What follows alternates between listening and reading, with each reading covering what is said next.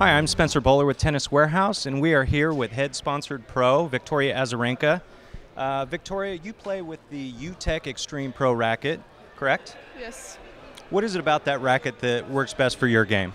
Oh, well, for me, you know, it's uh, the headwind uh, really go going um, forward with their technology, and uh, it just brings a lot more power and more control.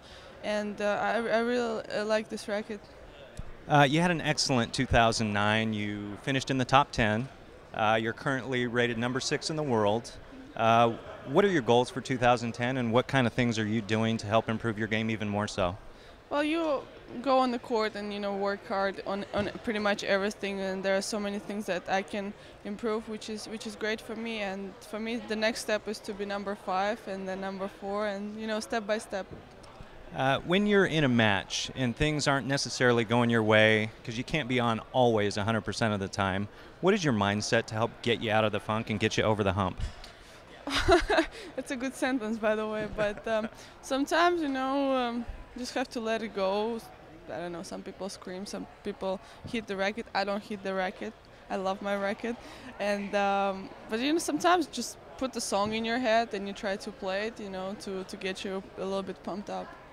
Uh, you're known as a, as a great ball striker, big hitter from the baseline. Uh, kind of a fun question. If you had to compare your game to a car, what kind of car would you be? Oh, Bugatti. I mean, we can't go for a better one. nice one. Um, and last question What is it about the tournament here at Indian Wells you like the most? Uh, well, I think the atmosphere is, is really great. You know, the uh, the site is nice, and so many people are coming, which is always uh, pleasant. You know, to see when so many people support you. Great. Well, thank you for the, taking the time, and we appreciate you. And uh, good luck rest of the season.